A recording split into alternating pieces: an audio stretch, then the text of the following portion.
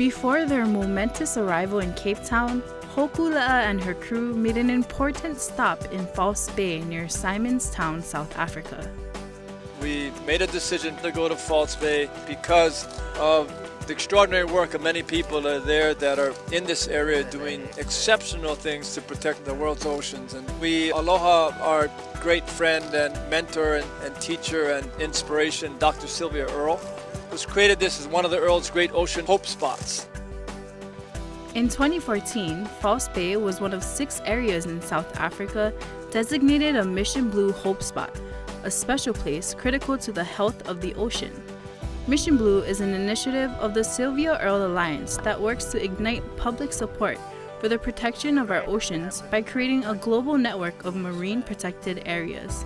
It's just incredibly productive here But because it's getting fed by this incredible amount of upwelling. It's just off the charts.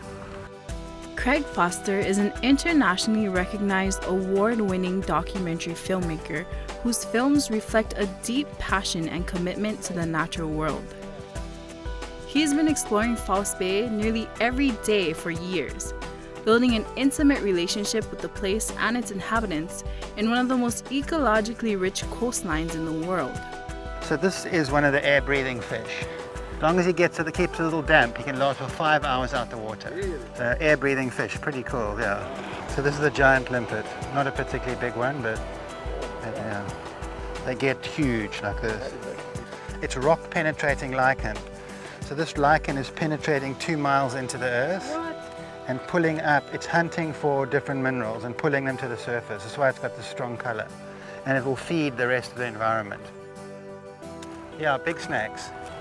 Uh, cobras, uh, mole snakes.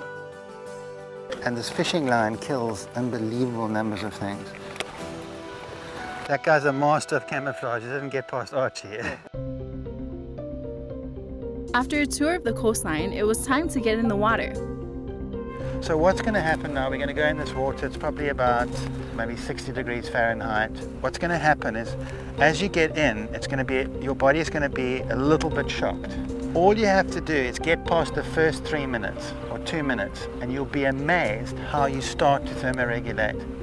Obviously I've done this every day almost for five years, so my window is very long, over an hour. Okay, so your window is going to be shorter and just enjoy that window. As soon as you then start to feel like signs of cold or shivering, that's the time to, to get up. It is hard in the water, so I commend you guys for trying this. Thank you. You know, especially from Hawaii. There's a 30% chance we will see a fairly large shark. Okay, um, they are totally harmless. Okay. Craig led the crew through the breathtaking kelp forest, braving bone chilling waters without wetsuits.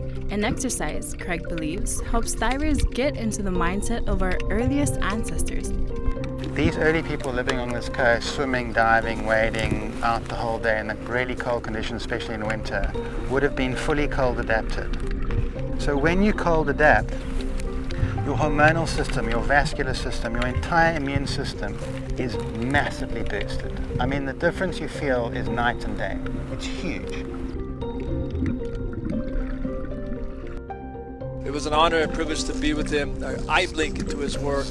We were taken on a tour of an amazing ecological system, some of the richest, nutrient-rich oceans in the world.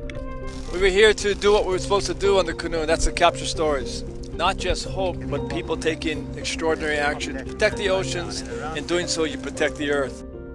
To share how you malama honua and to follow the voyage, log on to hokulea.com. This is Kapua Roback for Oiwi TV, home of the Worldwide Voyage.